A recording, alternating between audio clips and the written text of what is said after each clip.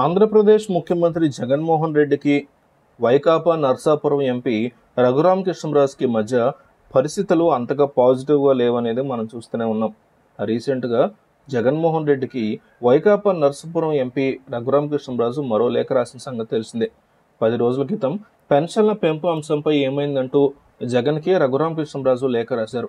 రీసెంట్గా మరో లేఖ రాస్తూ భవన నిర్మాణ కార్మికుల సంక్షేమంపై లేఖ రాసుకొచ్చారు. లాక్డౌన్ ప్రభావం వల్ల ఉపాధి కోల్పోయిన భవన నిర్మాణ కార్మికులను ఆదుకోవాలని కోరారు. రాష్ట్రంలో ఇరవై లక్షల అరవై వేల మంది భవన నిర్మాణ కార్మికులు తమ పేరును నమోదు చేసుకున్నారని వారిలో పది లక్షల అరవై ఆరు వేల మంది కార్మికులు వివరాలు మాత్రమే ఆధార్తో లింక్ చేశారని మిగిలిన వారి పేర్లు కూడా లింక్ చేయాలని కోరారు. రాష్ట్ర ప్రభుత్వం అయితే దీనిలో మూడు వందల ముప్పై కోట్లు ఖర్చు చేశారని మిగిలిన వెయ్యి కోట్ల నుంచి ఒక్కో కార్మికుడికి ఐదు వేల రూపాయలు ఇవ్వొచ్చని ఇలా ఇవ్వాలని కోరారు.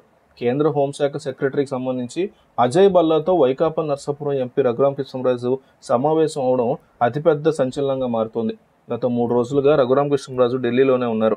తాను ఇదివరకు ఇచ్చినటువంటి ఫిర్యాదుకు సంబంధించి ఆయన ఆరా తీశారు. తాను రాష్ట్ర ప్రభుత్వానికి సలహాలు ఇచ్చానని అప్పటి నుంచి తనని తీవ్రంగా టార్గెట్ చేస్తూ చంపేస్తామని బెదిరిస్తున్నారని ఈ విషయాలన్నీ అక్కడ తెలిపారు. ఇప్పటికే స్పీకర్కి ఇచ్చినటువంటి లేఖ కేంద్ర హోంశాఖకి పంపించినటువంటి విషయం తెలిసిందే. కేంద్ర హోంశాఖ ఇప్పటికే దీనికి సంబంధించి సమాచారం తెప్పించుకుంటుంది.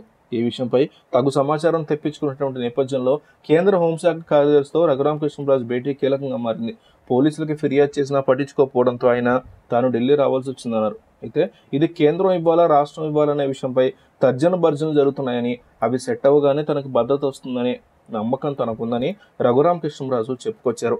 సైలెంట్ అయిపోయాడు అనుకున్న టైంలోనే నేరుగా కేంద్ర పెద్దల దగ్గరే సెక్యూరిటీ ఫోర్సెస్ లాంటి వాళ్ళని ఆయన కలవడం హోంశాఖలో తన పావులు కదపడంతో ఇది వైకాపాకి ఇబ్బందికర పరిస్థితులుగా మారిందని అంటున్నారు.